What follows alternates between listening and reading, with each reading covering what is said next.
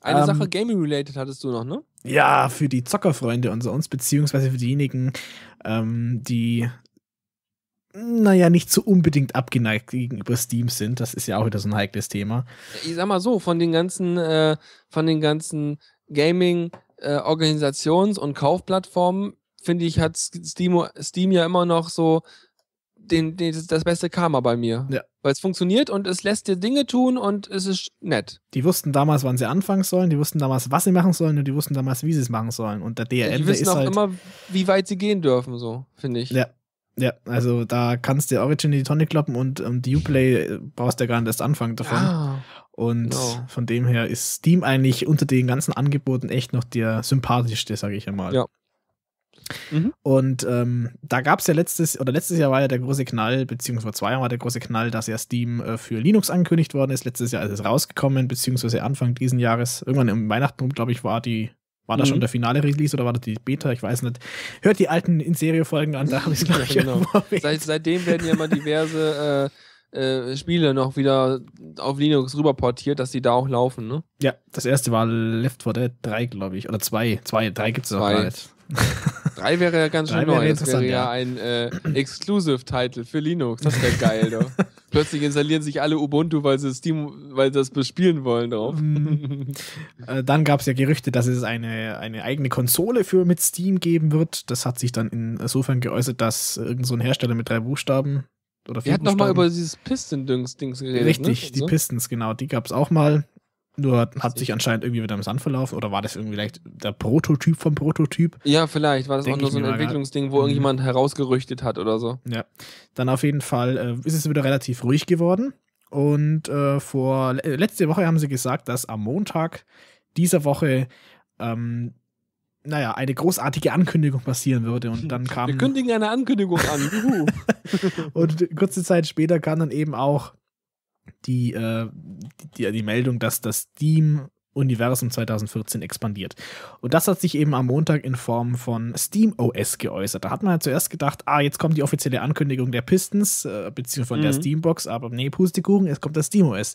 Und das ist ja im Prinzip nichts anderes als äh, ein, wahrscheinlich ein Ubuntu, ein abgespecktes, ein äh, modifiziertes Muss nicht mal Ubuntu sein, also irgendein ein gestreamlinedes, wahrscheinlich Debian-basiertes Mhm. Linux. Ja, ja, gut. Also sie haben ja mit Ubuntu das, die, ersten, die ersten Tests gemacht und sie verweisen offiziell auch auf Ubuntu. Deswegen geht man Ja, davon aus, wahrscheinlich, dass weil die du auch die Basis wenigsten, irgendwie. du hast die wenigsten Support-Requests, wenn du Ubuntu verwendest, weil das einfach so viel Community gibt Ja. und so viel Hilfe schon gibt. Das ist dann bequemer. Mhm. Aber ja, letztendlich glaube ich, dass sie sich dann, wenn sie Ubuntu wirklich verwenden würden, sich mit Canonical schon nochmal so einen kleinen Schmerz in den Fuß eintreten. Die, waren, Also, die waren, weiß ich nicht genau. Das wird vielleicht wirklich äh, als, als zum Testen hergenommen und so, weil das hat, wie du gerade gesagt hast, die größte Nutzerbasis und von dem her, die wollen sich da schon ihr eigenes Team, äh, ihr eigenes, ihre eigene Distribution äh, stricken. Genau, das, das ist das SteamOS-Ding, ne? Das wird quasi so eine kombiniertes, so ein kombiniertes Steam-Client plus äh, Linux zum Installieren, ne? Ja, das ist wie im Prinzip ist es ein Linux, auf dem der Steam Client im Big Picture Mode läuft. Und dieses Big Picture, Mhm. das ist ja letztes Jahr äh, rausgekommen für die äh, hauptsächlich für die Konsolenspieler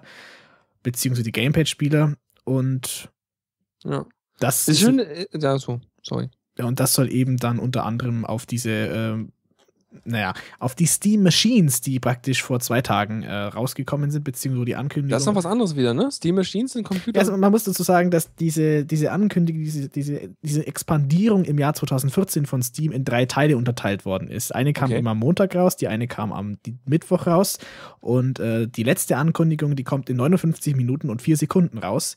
Und äh, ja, das ist, das ist ein Countdown. Also wer, wer noch Zeit hat, wahrscheinlich nur du, Tuxi, aktuell, ist äh, store.steampowered.com slash livingroom. Da äh, ist eben aktuell dieser Countdown mit den einzelnen Ankündigungen. Mhm. Und ähm, die Steam Machines, die kamen eben gestern raus und das ist dann im Prinzip, das sind im Prinzip die Pistons, die angekündigt worden sind. Also spezielle Computer, wo das SteamOS drauf läuft oder laufen kann. Richtig, das soll keine, keine Konsole an sich sein, das soll einfach im Prinzip wie so, also wenn man sich die Pistons nochmal in Erinnerung rufen kann, dann ist das im Prinzip genau das, was damals auch gezeigt worden ist. Nur eben mit dem Unterschied, dass sie noch nicht wissen, wie er aussehen soll. Sprich, die Form ist irgendwie Ah, noch, okay. so, noch so eine Sache und, und diese, dieses ganze Design an sich ist noch so eine Sache, was sie noch nicht so wirklich ganz genau wissen, aber sie wissen definitiv, dass dieses, äh, dass diese Steam-Box nicht auf Steam begrenzt ist, sondern da kann man meinetwegen auch ein Windows draufknallen oder ein ganz normales Ubuntu draufknallen. Und ist so geil, das gibt denen wieder so, das, das weißt du, das handelt Valve schon wieder so viel positives Karma ein, dass die sagen, hey, ne, pass auf, ihr wollt spielen, kein Ding. Hier kauft euch das Ding, da ist unser Spielgedöns drauf, loggt euch mit dem Steam-Account ein und installiert eure Spiele, die ihr bei uns eh schon gekauft habt. Hm. Wenn ihr das Ding für was anderes verwenden wollt, kein Ding, bitteschön, macht's doch einfach. Sie, Das sie ist verlieren so viel positives Karma, Ja. was Sony damals mit der PlayStation 3 hätte haben können.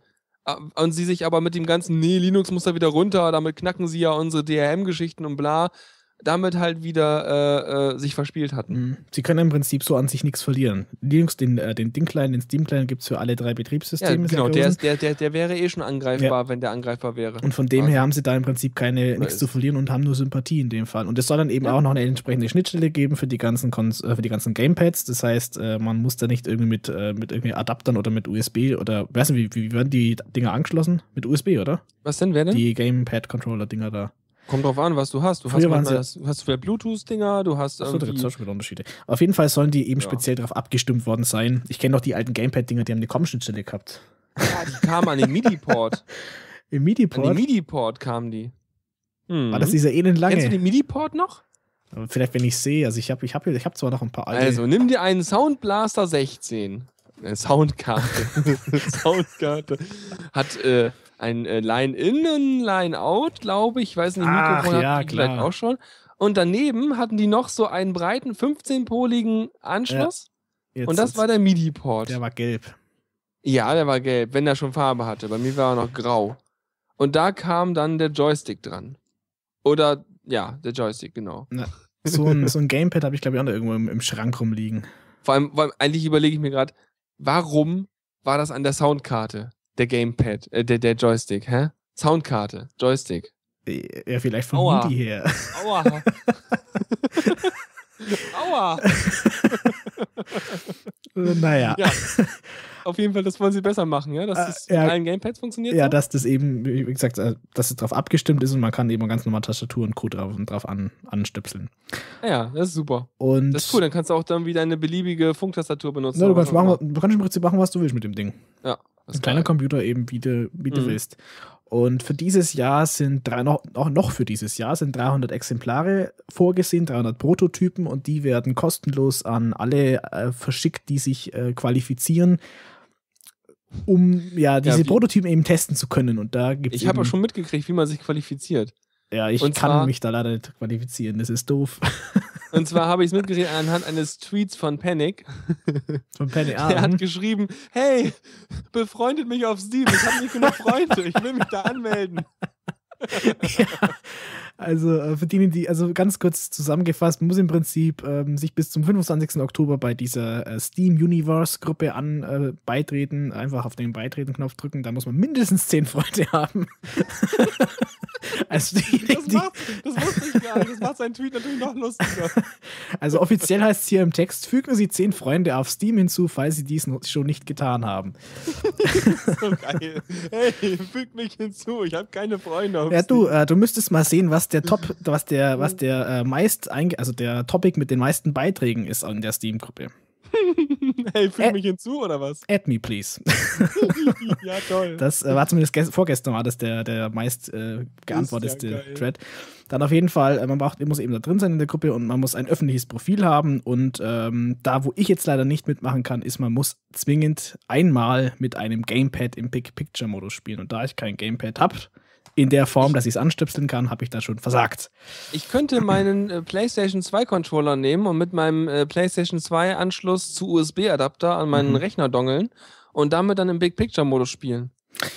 Das soll es allerdings auch so ein paar, also ich habe im, im, im Ding gelesen, dass es anscheinend für ein paar Leute Probleme gibt, äh, dass Steam diesen Controller erkennt. Das waren dann meistens diejenigen, die keine, keinen, äh, sag ich mal, originalen Controller haben von Sony oder von, von Microsoft, sondern irgendwelche Dritthersteller. Und das soll Ja, es aber das muss angeblich. doch auch gehen. Ja, Das die das, das war nur bei manchen. Manche haben gesagt, es ging bei ihnen, manche wiederum sagen, es geht bei denen nicht. Also das ist anscheinend.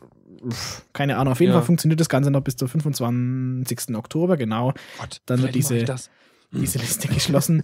Und alle, die eben diese ganzen Kriterien erfüllen, bekommen einen, äh, ein, ein Abzeichen praktisch, das dann wiederum zeigt, dass man äh, unter denjenigen jetzt ist, die äh, diese 300 Pistons zugeschickt bekommen. Und wie das Ja. Auswahlverfahren ist, das äh, würden die per, würden einfach random, äh, random rausschicken. Mhm. Ja, ja, Genau. wilde Pläne. Tuxi hat auch kein Gamepad und äh, will sich eins mit einem äh, Skript-Emulator simulieren. Mhm. Ah. Kann man auch machen. Ich Naja. weiß ja nicht.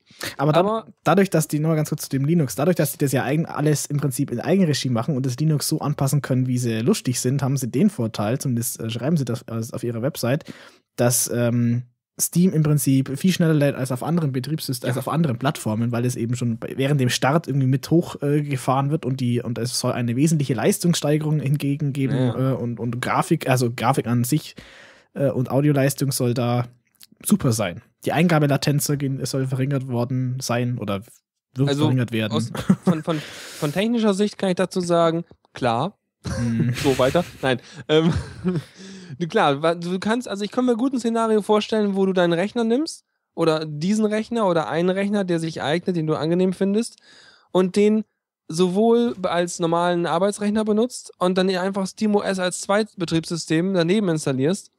Denn das Ding wird einfach viel schneller starten, weil du ganz viele Services, die du auf normalen Linux hast, gar nicht brauchst für so ein Steam Linux.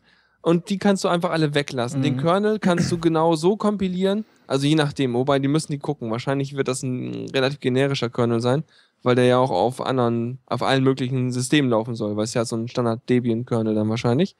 Aber ähm, du kannst halt alle möglichen Services weglassen, die du nicht brauchst. Du kannst halt, äh, brauchst halt keine so eine Sound-Multiplexing-Struktur. Kannst du auch weglassen, kannst du irgendwelche Zwischenguis weglassen und Zeug ja, ja, und klar. Benutzerverwaltung kannst du auch weglassen und so Mhm. weiter. Und dadurch kriegst du das Ding natürlich nochmal ordentlich schlank. Ja. Was cool ist. Und dann hast, hast du wirklich dein eigenes Betriebssystem, auf dem du arbeiten willst. Ähm, und ähm, Kannst auf nebenbei. dem kannst du das, das lädt dann halt und hat dann deinen Komfort und dann kommst nach Hause, bist völlig fertig, willst du noch eben noch mal eine Runde XYZ spielen und äh, dann startest du halt eben dein SteamOS und bist quasi fast sofort im Big Picture Modus. Mhm. Also in, in, dieser, in diesem SteamOS wird ja auch, sind ja auch zwei neue Funktionen mit drin. Also insgesamt gibt es hier angekündigte Optionen und da ja äh, Steam mit, äh, beziehungsweise Valve mit Nvidia zusammenarbeitet, äh, ist mir das eigentlich erst, äh, es ist mir fast komisch vorgekommen, dass ich nicht selber drauf gekommen bin. Und zwar, Arbeiten die zusammen? richtig, die Was sagt arbeiten Linus Torvalds dazu? äh, auf jeden Fall, ähm, vielleicht, Wieder Finger, hä? der, der schöne Mittelfinger. Vielleicht hast du ja mitbekommen, dass äh, 3.000 oder 5.000 Spiele zum Launch, beziehungsweise Nee. zum Beta-Launch äh, zur Verfügung stehen sollen. Mhm. Und es gibt ja keine 3.000 oder 5.000 Linux-Spiele aktuell. Ups. Dann bauen sie noch ein paar, wa? Nee, das haben sie anders gelöst. Und zwar hat der, falls du das mitbekommen hast, hat ja Nee. Nvidia vor einer Zeit an Shield gearbeitet.